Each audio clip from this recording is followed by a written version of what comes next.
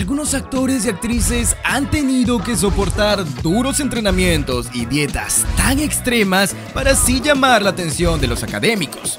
Sin embargo, a pesar de esos esfuerzos, muchos que han pasado horas transformándose, sometiéndose a cegueras temporales, alimentándose por sondas o usando botellas como baño, finalmente no lo han logrado.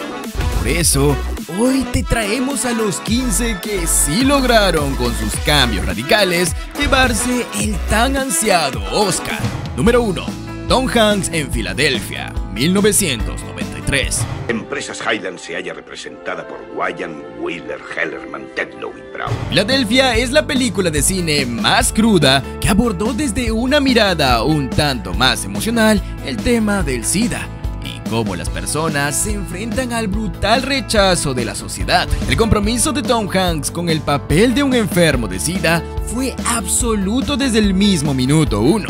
Era una cuestión de todo o nada y el actor comenzó su inmersión en Andrew Beckett desde su mismo físico. Por eso, desde la primera mitad de Filadelfia hasta el conmovedor tramo en el que su personaje está enfermo, Hanks adelgazó nada más y nada menos que 15 kilos. Los 15 kilos perdidos y su conmovedora interpretación le dio el primer Oscar a Mejor Actor. Embargo, estos cambios tan abruptos y repentinos le terminaron ocasionando la diabetes que hoy por hoy padece.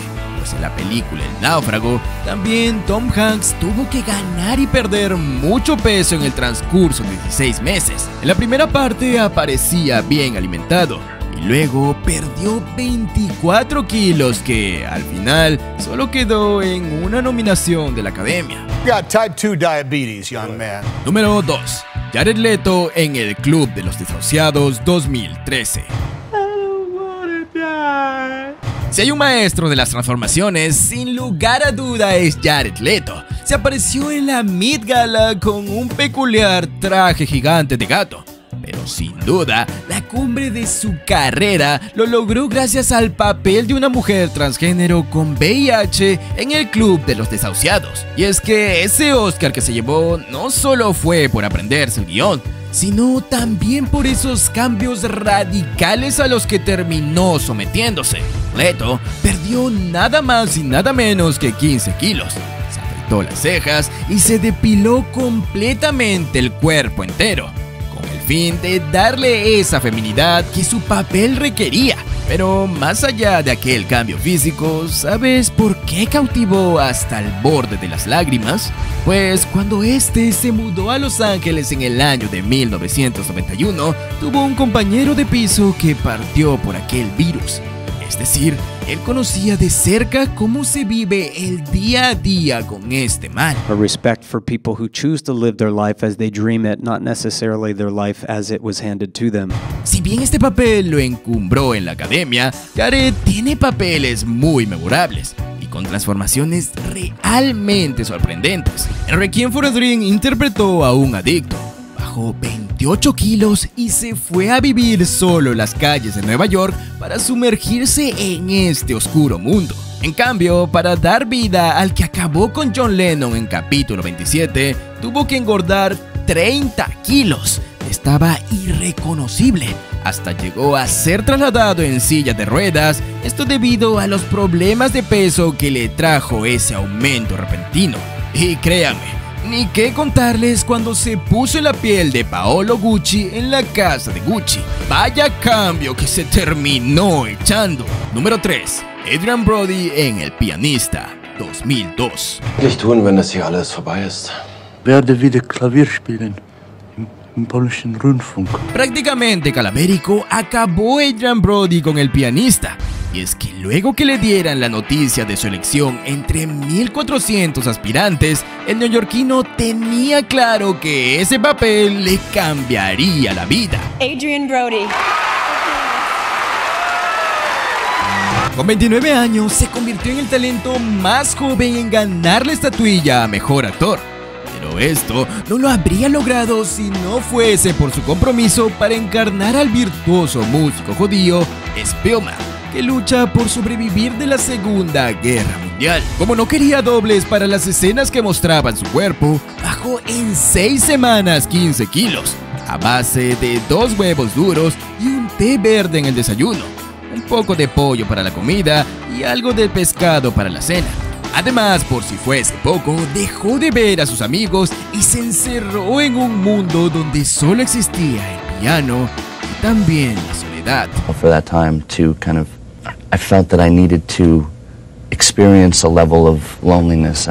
Por ocho meses se deshizo de su departamento, vendió su auto y también su teléfono móvil. Quería confinarse y sentirse en la piel de aquel pianista, pero este aislamiento le terminó pasando factura, pues tras terminar el rodaje, adaptarse a la normalidad le costó más o menos seis meses y admitió que llegó muy lejos con su papel. Número 4. Charlize Theron en Monster 2003. Si hay una película por la que es reconocida profesionalmente, pero no físicamente Charlize Theron, es sin lugar a duda Monster. Para dar vida a la fugitiva Eileen Wuornos, la actriz se sometió a un duro proceso de cambio, a cortar 22 kilos y confirmando la frase "eres lo que comes".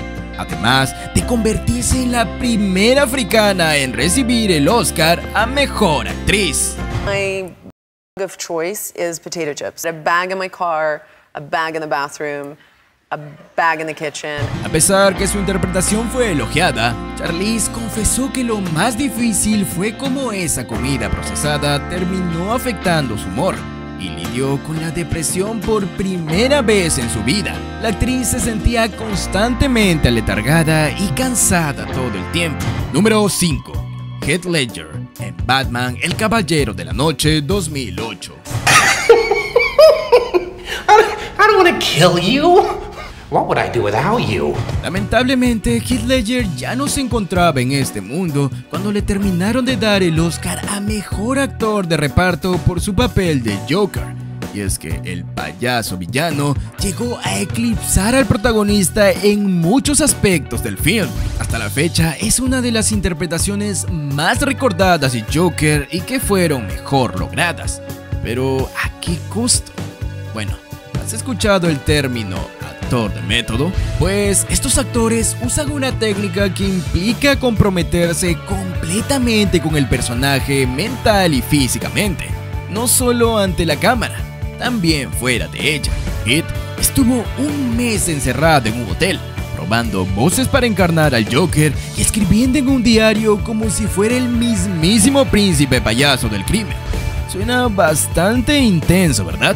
Eso es en realidad lo es. Y son varios los que consideran que el papel lo terminó llevando a la locura y fue determinante para que tomara la decisión de irse de este mundo. Número 6. Eddie Redmayne en la teoría del todo, 2014. Mientras haya vida, hay esperanza. Así como en la película, en los premios Oscar, Eddie recibió una ovación de aplausos cuando se llevó la estatuilla a Mejor Actor, interpretar al famoso científico y astrofísico Stephen Hawking, quien traspasó las barreras de la ciencia para llegar a convertirse como Albert Einstein en un ícono de la cultura popular. No obstante, interpretarlo no era cualquier cosa. Stephen padecía esclerosis lateral amiotrófica, mejor conocida como ELA. Ambos se vieron por una sola vez y en un lapso de tres horas, tiempo que, para ser sinceros, resulta insuficiente para tomar todos sus gestos. A raíz de esto, el actor decidió someter a su cuerpo a un estricto proceso de cambio físico. Bajó 6 kilos, que si bien no son muchos, fueron más que suficientes para entrenar con un bailarín y lograr la flexibilidad de sus músculos, pues como se sabe, debía estar retorcido por muchas horas, así como también asegurarse de pestañear completamente despacio. Monster helped me train for four months to kind of teach your body to shorten muscles and to be able to sustain some of the positions. So También, por si fuese poco, fue una clínica especializada en ELA y se quedó días conociendo y estudiando a las personas que sufren dicha enfermedad. Se involucró tanto en este rol que el mismísimo Stephen envió un email al director James Marsh asegurando que vi a Eddie Redman interpretarme muy bien. Por momentos creía que era yo. Número 7. Marion Cotillard en La vida en rosa, 2007. Otra de las metamorfosis más increíbles que hemos visto en el cine es la de Marion Cotillard, que alcanzó el Oscar a Mejor Actriz tras interpretar a su compatriota Edith Piaf, cantante francesa que dominó la música entre la década del 50 y 60. Pero, ¿qué precio pagó para alcanzar ese perfecto dominio del personaje? Pues la actriz se terminó rapando al cero la parte delantera de su cabello, para de esta forma dar la apariencia de tener más frente. Sus sesiones de maquillaje podían durar 5 largas horas, y para salvar la diferencia de altura entre ambas, Marion tuvo que encorvarse y deformar su postura para empequeñecer su cuerpo. Su magistral papel no solo le dio la gloria de la academia, también logró 27 premios más. Número 8. Robert De Niro en Toro Salvaje, 1980. Robert De Niro es otro actor de sobra conocido por meterse de lleno en sus papeles. Pero para interpretar a Jake LaMotta tuvo que ganar 26 kilos marcando. En ese momento, un hito en la historia de cambios físicos radicales en el cine. Para 1980, el actor gozaba de un físico excelente. Sin embargo, como debía interpretar al legendario boxeador en su época de decadencia, no le quedó de otra que dejar de lado su faceta de sex symbol para lucir de una forma un tanto distinta. Su cambio de peso extremo le valieron un merecido Oscar a Mejor Actor, pero donde cruzó la raya fue en El Cabo de Miedo, se tatuó realmente el cuerpo para ponerse en la piel del psicópata Max Cady. La razón que decidiera hacerlo fue que en las escenas finales en el agua ningún maquillaje ni calcomanía hubiera resistido. Aunque lo peor fue terminar tallándose los dientes, deformándolos en un dentista en lugar de utilizar prótesis. ¿De verdad se puede llegar a este extremo? Número 9. Tilda Swinton en Suspiria 2018. Y te preguntarás, ¿qué tiene que ver Tilda con este anciano que aparece en escena? Pues si bien la actriz no cambió drásticamente de peso como sus colegas, sí se sometió a un buen maquillaje y hasta prótesis del órgano masculino para poder sentirse como un hombre. Sí, aunque parezca muy bizarro, Tilda necesitaba sentirse como tal para poder entrar en el papel. It's an attraction to a kind of sensation in the cinema, right? A pesar de ponerse la piel del doctor Joseph Klemperer fue magistral, no obtuvo el premio de la academia. Como sí lo hizo en el año 2008 como mejor actriz de reparto. Esto debido a la película Michael Clinton, que si bien no muestra una gran transformación física, sí se juntó con personas involucradas en aquel mundo. Número 10. Brendan Fraser en La ballena. 2023. No sabe que Ahab quiere matarla. No es más que un pobre y enorme animal. Atrás quedó su sorprendente figura en George de la Selva y la momia. Brendan Fraser en 2023 se llevó el Oscar tras una magistral interpretación de un hombre que pesaba más de 300 kilos. Y sí, decimos más es porque al igual que Tilda se terminó sometiendo a largas sesiones de maquillaje también tenía que lidiar con un traje prostético que pesaba nada más y nada menos que 270 kilos. Differentiated from all the films that we've seen over the years that really just cut a silhouette around a more or less athletic actor, not Para moverse por el set de rodaje, Brendan requería la ayuda de entre 5 a 7 personas de la producción, pues tenía un sistema de refrigerado como el que llevan los pilotos de carrera para evitar que colapse. Como dijo el actor, este tipo de maquillaje prostético fue usado en comedias groseras durante muchos años. Sin embargo, ellos lo crearon para dignificar al personaje de Charlie, maestro que sufre de depresión por las desgracias que atraviesa a lo largo de su vida, escondiéndose detrás de su obesidad. El papel le devolvió a Brendan la merecida vitrina que se le había arrebatado hace ya varios años. cuando Abandonó la carrera tras realizar una grave denuncia de abuso por parte de un personaje muy allegado a la industria. Número 11. Leonardo DiCaprio en Genocide 2015. Ya si después de haber sacado las vísceras de un caballo y desnudo meterse dentro para soportar el frío, no le daban el Oscar a Leonardo DiCaprio, no sé en qué condiciones más extremas podría haberlo logrado. El estadounidense era el eterno nominado de los Oscar y favorito por muchos. Sin embargo, no ganaba ninguno hasta el año 2015 primera nominación la recibió a los 19 años cuando actuó como el hermano con discapacidad mental de Johnny Depp en A quien ama Gilbert Grape. Sin embargo, fue el renacido que entregó la gloria necesaria para este aclamado actor. Aparte de someterse a filmar en condiciones climáticas realmente muy difíciles y en un terreno accidentado, Leonardo nada en agua helada mientras arrastra una pierna herida detrás de él, come hígado crudo de bisonte y por el ataque del oso tuvo que pasar 5 horas diarias en maquillaje para representar las horrendas heridas que le dejó el animal. Número 12. Al Pacino en Perfume de Mujer, 1992. Al igual que Leonardo, Al Pacino también fue nominado hasta nueve oportunidades, pero solo en Perfume de Mujer se llevó la estatuilla a Mejor Actor. Y sí, me preguntarás, ¿y dónde está la transformación radical? Pues presta atención a su mirada.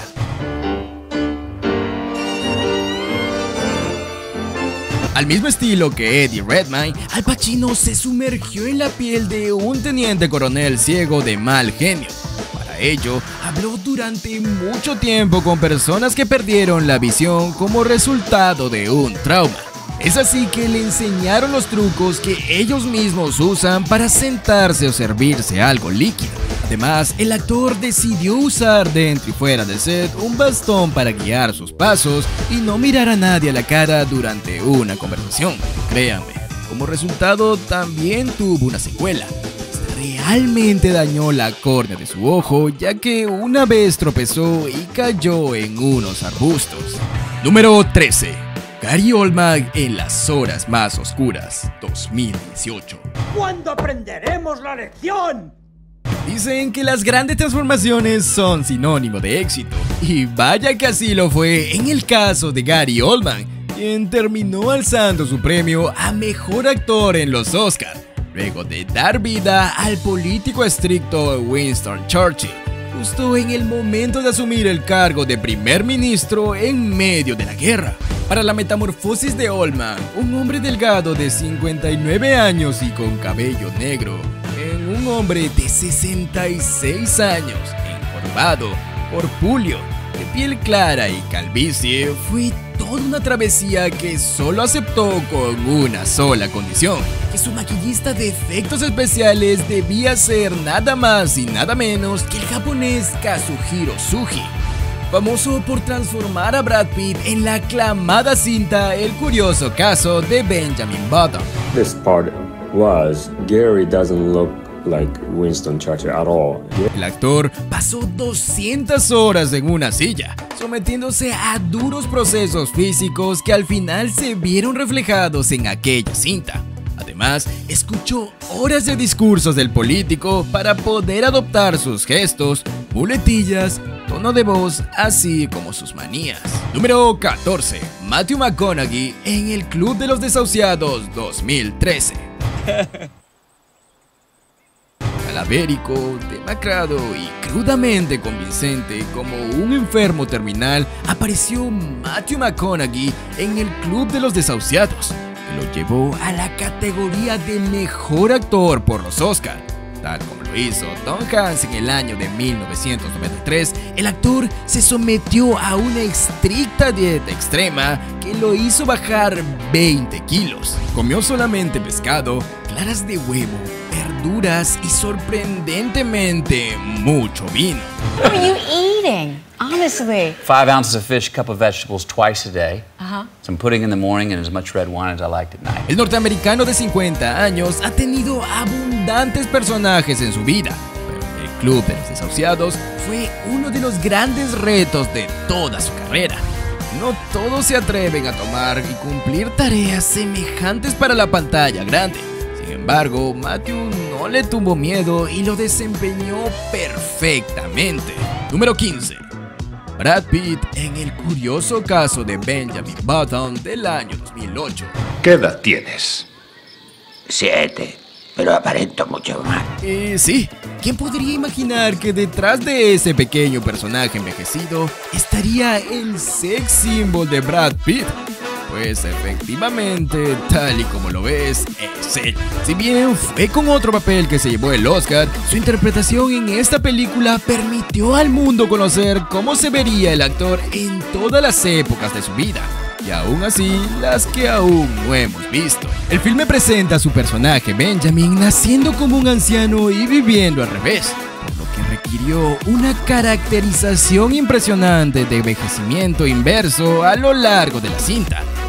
Fueron cinco horas diarias en las que Brad se sometía a extensiones de cabello, arrugas, pecas y maquillaje para realizar completamente a la perfección su mencionado personaje. Y cuéntanos, en toda esta lista, para ti, ¿quién fue tu favorito? Y hasta aquí el video de hoy.